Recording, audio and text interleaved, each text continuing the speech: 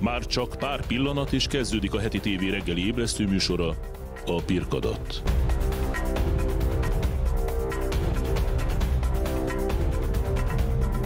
Élőben a stúdióból jelentkezik Brajer Péter. A Pirkadat mai vendége Kormánybiztos német Szilárd. Szép jó reggelt Jó kívánok! reggelt kívánok, üdvözlöm Annál jobb dolog nincs, amikor korán reggel méltóztatik megérkezni, és egyből a villanyszámlámat a kezébe nyomtam, és semmi hibát nem látok benne, sőt, lehet, hogy tévedtek és túl keveset számláztak. Hát a számokat mondhatok, hogy mit láttam Igen. azon a villanyszámlán? Ugye 1000 forintra kerekítve meg volt határozva a fogyasztás, a átlagfogyasztás mértékéig ugyanúgy jár a teljes rezsicsökkentés, mint mindenki másnak, és az átlagfogyasztás feletti rész pedig 70 forint 10 filléres kilovattóránkénti kedvezményes lakossági piaci árral van elszámolva. Egyébként a valós piaci ár az 268 forint 90 fillér lenne, és az eredeti, ami a átlagfogyasztási ár, az pedig 36 forint. És ez a számla részletezőben megtalálható volt, és akkor így jött ki. Főszerkesztő úréknak 12 ezer valamennyi, amit be kell fizetni, de rögtön abban a kis rezsiboxban, abban a színes kis téglalapban pedig ugye benne van az is, hogy ha nem lenne a rezsicsökkentés, akkor ebben az adott fogyasztási időszakban, amiről a számla szól, akkor olyan 58 ezer forintot kellett volna fizetni, tehát a megspórolt rész, ami önöknél marad, az 46 ezer. Igen, most már csak egy baj van, hogy nem tudom, hogy ez egy normális, vagy túl alacsony, vagy túl magas. Hát Mert ez az ez összegből ugye- nem tudom Ez ugye fogyasztás, fogyasztás, fogyasztás függő.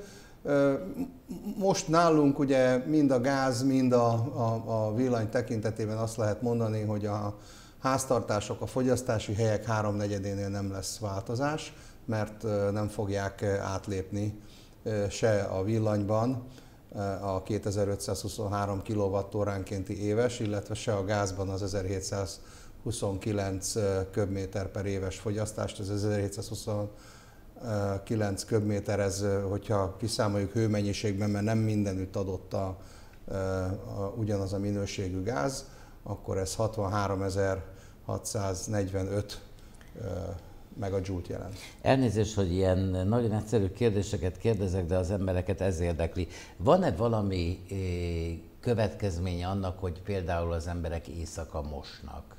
Hát a, a B-tarifával számolják el egy éjszakai árammal, az valamennyivel olcsóbb, mint a, mint a nappali áram. Nem jellemző egyébként a lakossági B-tarifa, hogy, hogy nagyobb legyen, mint egyébként, amit az A-tarifával számolnak el.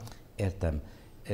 Az Európai Unió 20... Úgyhogy én nem javaslom az éjszakai mosást, ezt mindenki maga dönti el. Ugye nem várja tőlem főszerkesztő hogy olyan ostobaságokat, azt hiszem talán ez a leg, hogy mondjam, még elfogadhatóbb szó, de Nem lenne mondja, más hogy a- vegyünk még egy Már- föl, mert ez- ideges Ez leszek. teljesen elképesztő. Föl fog állni a fejemen a haj. nem az emberek tehetnek arról, hogy ez előfordult. Hát ugye itt háború van. A háborúra Brüsszelben meg iszonyatosan rossz választ adtak. Beindult a szankció, és egyre nagyobb téteket ö, ö, kaptak elő, és amikor elindult az energia ugye a kőolajról beszélek és a földgázról, és akkor még a atomerőműveknek a ellátásáról nem is esik, nem esik szó, de ezek már mind-mind az asztalon vannak, mind-mind Tegnap, már hála Istennek, már a franciák is elővették. Hát a... egész, egész Európa szenvedettől. Tehát ezektől a rossz brüsszeli szankciós döntésektől egész Európa szenved. Erre különböző válaszokat adnak az emberek. Mondjuk a német külügyminiszter, én teljesen ledöbbentem, amikor azt mondta egy ilyen konferencián, hogy ő az ukrán népet akarja megsegíteni, és különben nem érdekli, hogy a németek meg mit gondolnak ő róla. E, Van ilyen válasz is, hát van olyan válasz is, ami Prágában történt, több százezeres tüntetés a szankciók megszüntetése okán, illetve hát e, ugye ezt mindenki, tehát minden józan ember látja, hogy ezek a szankciók, ezek nem vezettek sehova. Tehát ugye Oroszországot, mint az agresszort elítéljük, és természetesen megbüntetné egy békeközösség, ha úgy tetszik, De hát úgy nem tudunk büntetni, hogy közben a, a fegyver csöve az, ami a büntetést végrehajt, az felénk fordul. Hát, és hát kár lenne már, lából lőni magunkat. Hát az hagyján, de ugye legutóbb már azt vesszük észre, ugye, hogy a miniszterelnök úr is fogalmazott egy interjúban, már nem is lából lőtte magát Európa, Brüsszel, a brüsszeli bürokrat, hanem tüdőn. Tehát itt, itt minden, tehát az összes következmény az ebből adódik. Fölmentek az árak, fölmentek az energiaárak, hát azért, azért gondoljunk bele, hogy, hogy egy, évvel, egy évvel ezelőtt 30 dollár körül volt a gázára, most 343, tehát ez nem ugyanaz. A német vezetés arról beszél, hogy teljesen leszakadni az orosz energiaellátással hogy lehet ezt kivitelezni? Mert nem látom, hogy olajmezőket fedeznének föl, illetve ők voltak az elsők, akik a nukleáris áramtermelést részben leállították. Ugye Berlin és környékének az ellátásáért felelős kőolajfinomító az állítólag évvégén be fog zárni, mert ez kizárólag orosz, orosz minőségű kőolajon alapul. De ez bizonyos összegér át lehet állítani. Ho, mit? Ezt? Hát a, egyrészt annak van egy ideje kettő azt meg kell tervezni, három azt ki kell vitelezni, négy azt ki kell fizetni.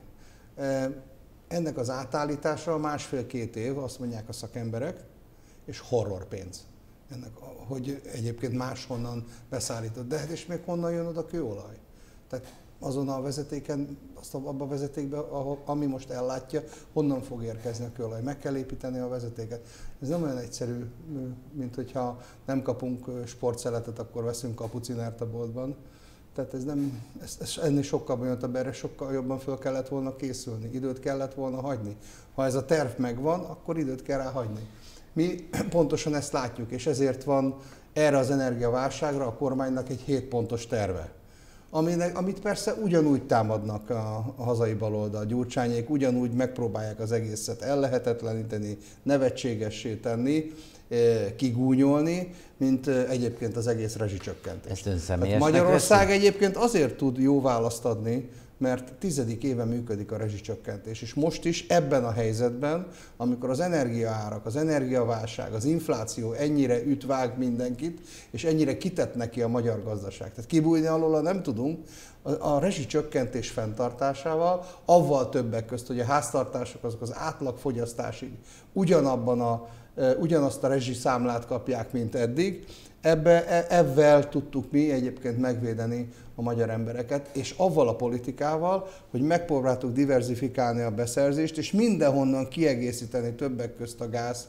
beszerzésünket, minél gyorsabban telítölteni a tárolókat, hogy a telet a, át tudjuk vészelni. Ma ott tartunk, hogy ezek a tárolók gyakorlatilag, ha csak a lakossági használatra menne a gáz, akkor teljes egészében fedezik a legkeményebb telet is. De én azért van egy csomó dolog, amit nem értek. Például a németek teljes takarékosságról beszélnek, mi viszont beszállítói vagyunk a német iparnak. Ez akkor hogy van? Igen, ezek, ezt hívják ellátási láncoknak, azok szét fognak töredezni. Tehát az a helyzet, hogy az egész válság az onnan keletkezik, hogy nincs megfelelő mennyiségű energia. Itt már nem is az a probléma Európában, hogy drága horroráru, többszörös, tízszeres, tizenkétszeres ára van. Nincs.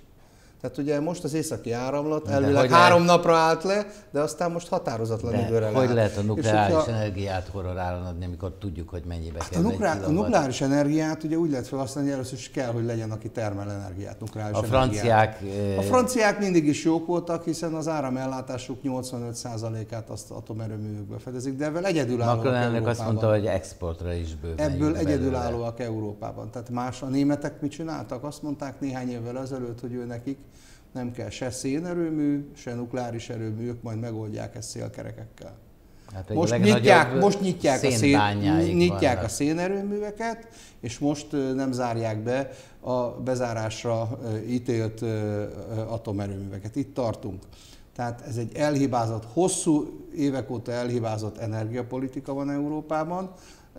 Brüsszel nem tudja megoldani azt, hogy egy teljes Európát át átható energiapolitikát hozzon, hozzon létre. Itt van a háború, a háború következtében arra megint rossz válaszokat adtak, és ez mind-mind oda jutott, hogy az égbe vannak az energiárak, és gyakorlatilag most már nem csak, hangsúlyozom, nem ott tartunk, hogy magas az energia, hanem nincsen megfelelő mennyiségű energia Európa gazdasága és Európa lakossága számára, Amik... és ezt próbálják a németek mindenféle pulóver felvétellel, ruha kirázással, mosás helyett, a főzés abbahagyásával, mécsesekkel való fűtéssel, ezt, ezt próbálják meg magyarázni, de ez nem működik, működésképtelen. Akkor, amikor a bizottság elnöknője lojalitásról beszél, akkor mire gondol? Hát azt, hogy akinek van gáz, azt majd ők elveszik, erre gondol. Tehát azt gondolom, hogy ez nem nehéz ezt lefordítani. Tehát be is jelentették ők többször is, hát ugye ebben nagyon erősek a németek, hogyha ő nekik szükségük van valamire, akkor azt majd a többiektől elveszik, akiknek Akkor van. de hát nekik van én, tengerük, én vannak az... kikötőik, tehát akár Venezuelából is tudnak vinni maguknak. Mi hogy hozzunk magunknak Venezuelából energiát? Hát pontosan, ugye mi azért, hát, azért, azért a miniszterelnök úr ugye nyár elején azért küzdött óriásit, és szerintem hatalmasat nyertünk, mert megakadályoztuk azt, hogy azok, akik csövön kapják a kőolajat, azok továbbra is megkaphassák. Tehát ugye a, az embargó, az európai embargó, az európai szankció, az csak a tengeren szállított kőolajra vonatkozik, a, cső, a csövön küldött orosz kőolajra nem. Magyarországra csövön érkezik az orosz kőolaj. Hát minek utána nincsen tengeri kikötőnk, illetve van egy ott valahol Olaszországban, tehát ez nem egy megoldás. Mi történik azokkal a családokkal Ózd és környékén, ahol a házak nincsenek szigetelve, ahol a rezsicsökkentés sem lesz elegendő, hisz nincsenek fizikailag felkészülve rá?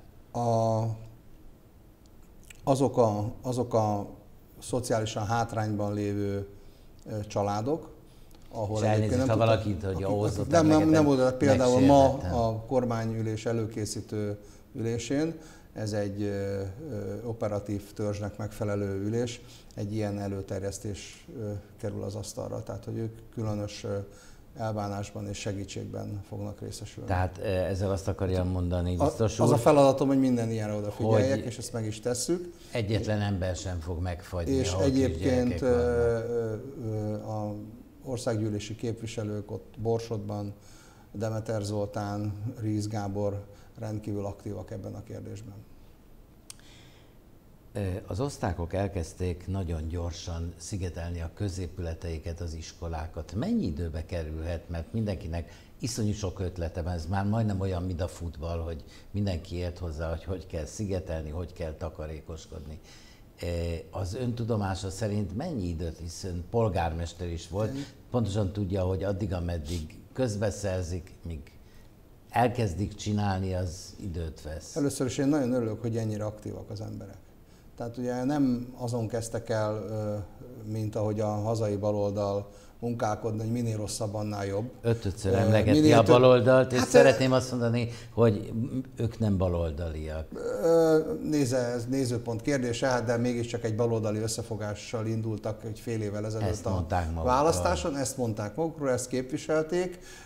Az, hogy ebben mi fér bele, beleférje az, hogy gyakorlatilag barna ingesek és a vörös ingesek együtt küzdjenek, azt nem tudom meg, meg, megítélni, ez az ő lelkiismeretükön kell, hogy múljon, de minden esetre ők azt mondták, hogy ez egy baloldali koalíció, amivel ők át fogják itt venni a kormányzást, és majd akkor megmutatják, a baloldalhoz, hogy a rezsicsökkentésnek annyi lesz, és minden olyan dolognak, amit emberek, közösen együtt az elmúlt tíz évben elértünk, és többek között azt értük el az elmúlt tíz évben, és azt gondolom, hogy e, ebben a nemzeti konzultációk rengeteget segítettek, hogy az emberek bele akarnak szólni a saját ügyeikbe.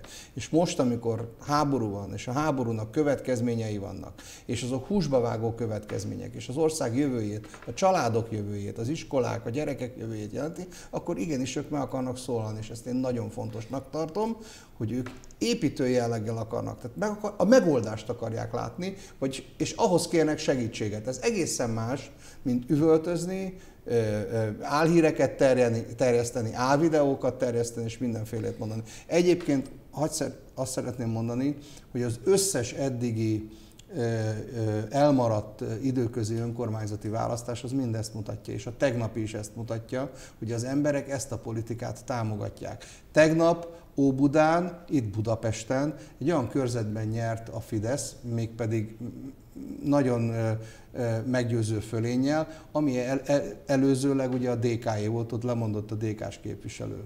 Értem. Ön négy éven keresztül miniszterhelyettes volt a Honvédelmi Minisztériumban államtitkár... Nagyon büszke vagyok rá. Árulj el nekem, hogy adták át a következőknek a szállások, mennyire vannak szigetelve, mit sikerült ott elvégezni? Van egy nagyon komoly laktanya felújítási program, de ez annak az egész életpálya programnak a része, amit a magyar honvédek, a magyar honvédség, a magyar katonák számára dolgozott ki a kormány, ebben benne van az illetmény, benne vannak a körülmények, de a legfontosabbak is benne vannak, a katonák egyéni felszerelése, illetve a, a technika, amit, amit használnunk kell. A, a jövő évi költségvetésben egy majdnem 900 milliárd forintos honvédelmi ö, alap áll rendelkezésre, amiből a honvédség működését és fejlesztését kell finanszírozni a, a kormánynak. Ez azt gondolom, hogy még égetőbb, mint eddig volt. Föl kell gyorsítanunk sok-sok dolgot, hiszen a szomszédunkban háború van, és háborús helyzetben mindig a honvédek gondolkodása, a honvédek felkészültsége az, ami meghatározó, meg tudjuk-e védeni a hazánk békéjét és biztonságát. Arról nem beszélve, hogy a, NATO is követeli a kétszázalékot. Képviselő úr, köszönöm, hogy itt volt nálunk, és jövő héten visszavárjuk. Előzetesek is már is jövünk vissza. Tartsanak velünk az elmúlt szűk negyed órában német Szilárd, a Magyar Parlament tagja, és rezsibiztos feladatokat is ő látja el. Volt a vendégünk, ígéri, hogy jövő héten ugyanekkor itt lesz, és tovább beszéljük a problémát. Köszönöm. Köszönöm szépen.